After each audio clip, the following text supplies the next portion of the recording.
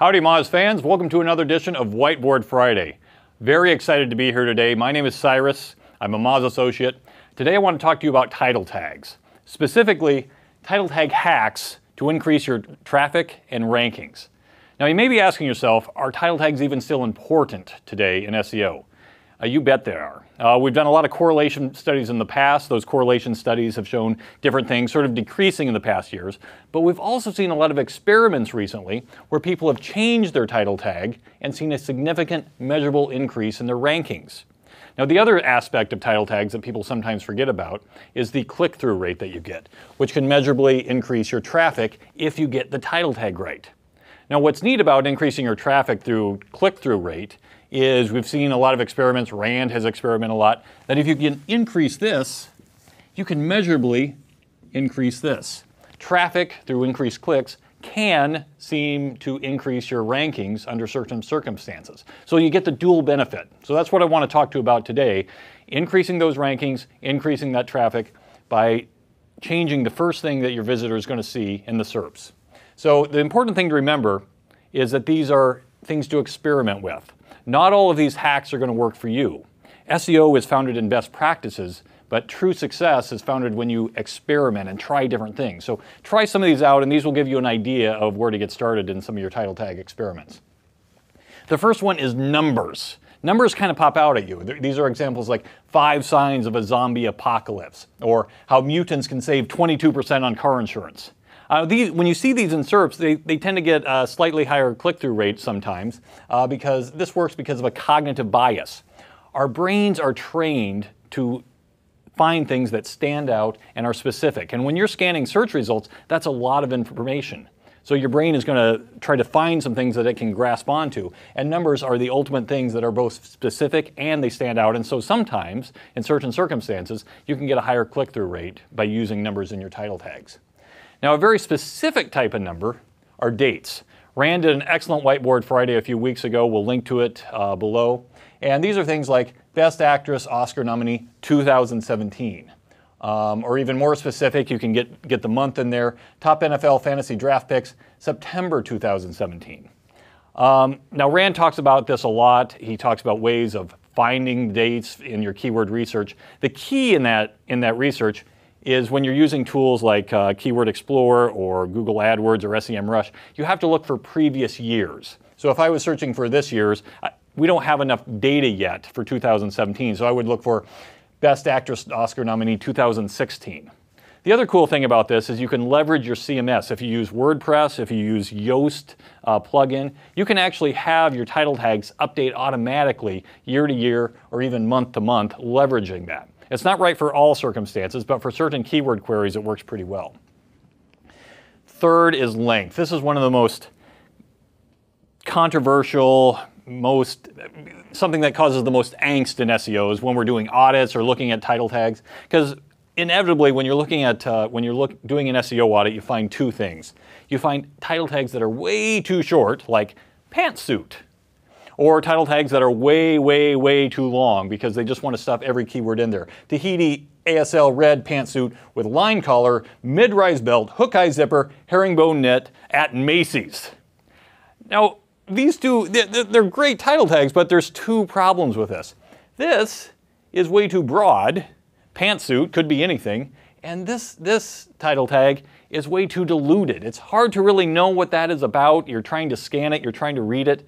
Uh, and search engines are going to look at it the same way. Is this about a pantsuit? Is it about herringbone knit? It's kind of hard.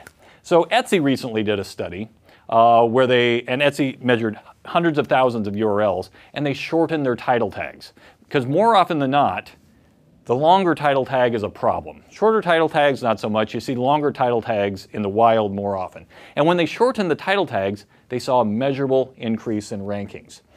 This is one of those things where best practices usually is the best way to go uh, because the optimal length is usually 50 to 60 characters. Um, and when you're deciding what keywords to put in when you're shorting this, that's where you want to use your keyword research and find the keywords that your visitors are actually using. So if I go into my analytics or Google Search Console, I can see that people are actually, you know, searching for pantsuit, uh, Macy's, and you know, maybe something like that, and I can come up with a title tag that fits within those parameters. Tahari ASL red pantsuit, pantsuits, the category, Macy's. And that's going to be your winning title tag. And you'll probably see an increase in rankings. Synonyms and variants. Now you notice in this last title tag, the category was a plural of pantsuit. That can actually help in some cir circumstances. But it's important to realize that how you think your searchers are searching may not be how, how they're actually searching. Let's say you have you, you found you do your keyword research and your top keywords are cheap taxis and you want to optimize for cheap taxis. Well, people may be looking for that in different ways. They may be looking for affordable cabs or low cost or uh, cheap Ubers, things like that. So you want to use those variants, find out how what the synonyms and variants are, and incorporate those into your title tag. So my title tag might be fast affordable cabs, quick taxi, your cheap ride. That's going to contain, that's optimized for like three different things within that 50 to 60 word limit, and it's going to hit all those variants, and you're going to, and you can actually rank a little higher for using that. The way you find these uh, synonyms of variants, you can certainly use, you know, look in the SERPs, type your keyword into the SERPs, into Google, and see what they highlight bold in the, in the search results. That will often give you the variants that people are looking for. The people also ask at the bottom of the page, your favorite keyword tool, uh, such as um, Keyword Explorer or SEMrush or whatever you choose, and also your analytics. Um, Google Search Console is a great uh, source of information for these synonyms and variants. One of my favorites in titles is call to action. Now, you won't often find the call to action words in your keyword research, but they really help people click. These are action verbs. These are words like buy, find, download, search, listen, watch, learn, and access. Uh, when you use these, they, they give a little bit more excitement because they indicate that the user will be able to do something beyond the keyword.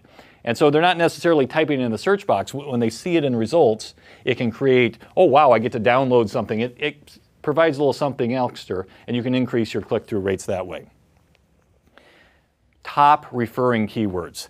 This is a little overlooked and it's, it's sort of an advanced concept. Oftentimes we optimize our page for one set of keywords, but the traffic that comes to it is another set of keywords. But what's very powerful is when people type their words into the search box and they see those exact same words in the title tags, that's going to increase your click-through rate. For an example, I went into uh, the analytics here at Moz and I looked at uh, Followerwonk and I found the top referring keywords in Google Search Console are Twitter search, search Twitter bios, and Twitter analytics. Those are how people are, are what people are looking for right before they click on the Followerwonk uh, listing in, in Google. So using that information, I might write a title tag like search Twitter, bio, search Twitter bio, bios with Followerwonk, the Twitter analytics tool. That's a pretty good title tag. I'm kind of proud of that. Uh, but you can see it hits all my major keywords that people are using. And so when I type in Twitter Analytics into the search box and I see the Twitter Analytics tool, I'm more likely to click on that. So I've written about this before, but it's very important to optimize your page, not only for what you the traffic you're trying to get, but the traffic you're actually receiving. And when you can marry those two, you can be stronger um, in, in all aspects. And finally, I want to leave you with a question. Questions are great tools to use in your title tags. And these are things like, where do butterflies migrate? Maybe your keyword is just butterflies migrate, but by asking a question, you create a curiosity gap and you give people an, incentive to click. Or what is PageRank? That's something we do, do here at Moz.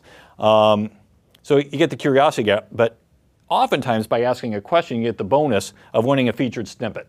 Britney Muller wrote an awesome, awesome post about this a while back about um, questions people also ask, how to find those uh, in your keyword research and claim those featured snippets and claim uh, people also ask boxes.